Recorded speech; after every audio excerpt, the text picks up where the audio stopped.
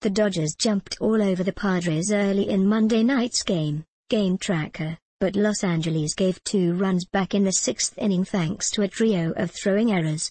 On one play.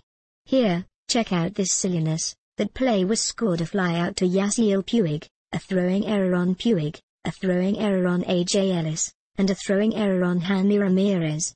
Both runs were unearned, because duh. Here's how Vin Scully described the play.